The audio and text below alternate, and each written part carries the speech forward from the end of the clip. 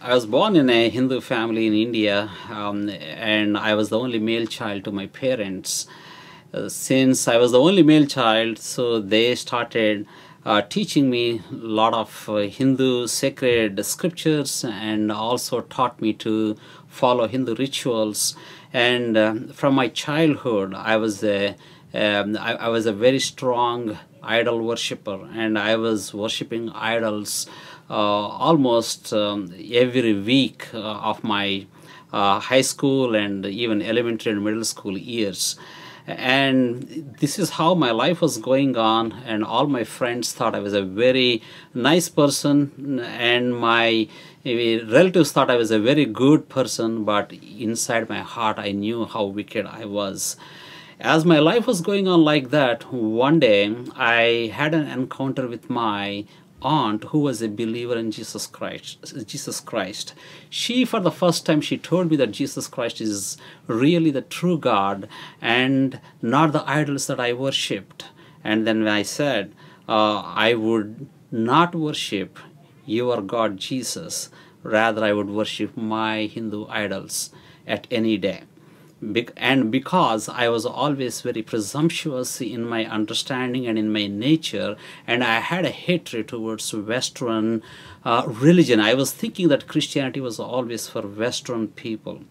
Uh, but God, in His great mercy and an amazing grace, He actually changed my life when I was 16 year old. Um, one day, uh, there was a conversation that I had with my aunt. My aunt asked me a very peculiar question. The, the question was like this Ramesh, if you stand before Jesus Christ now, and if you also stand before your idols now, how would you worship them?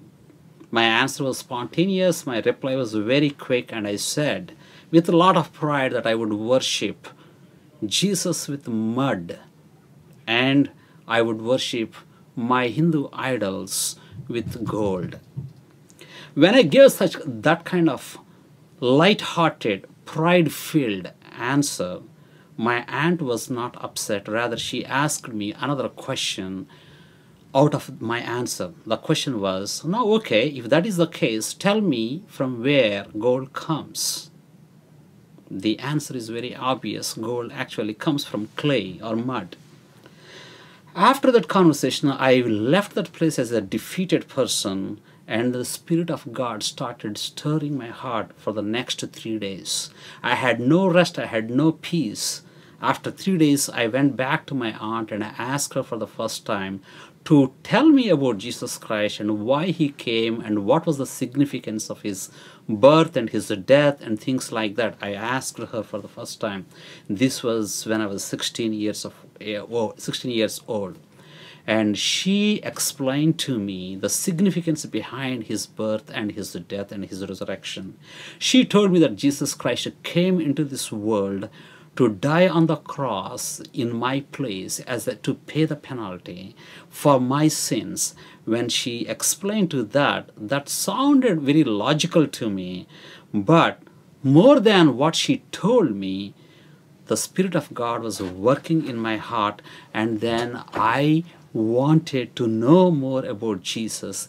And then she also told me that if I have to have a right relationship with God, if I have to have the forgiveness of sins from Jesus, then I have to confess my sins and accept Him as my Savior. Then I left that place and then I came back to her after a few days and then I wanted to pray to Jesus to receive Him as my Lord and Savior. In fact, on that day, I started, I actually knelt down and started praying in the afternoon around 12 o'clock, and then started praying like this Jesus, I do not know really who you are. My aunt said that you are the true God, and you are a God who speaks to your people, and you are also a God who forgives their sins when they confess their sins. So I want to confess my sins now and please forgive my sins. That is how I started my prayer. I was kneeling down. There was nobody in the room, just me alone, and there was a fan, and I was kneeling on the floor. And I was praying like that for seven hours on my knees. Because my aunt said God would speak to me. I had that strong desire that God would speak to me when I truly confess my sins. The waves of repentance were coming over me, and then I started confessing all the sins that God was bringing to my memory. After seven hours, there was a verse that came and stood before me from Psalm 103, verse 12. As far as east is from the west, so far God has removed my iniquities. That is how the verse says.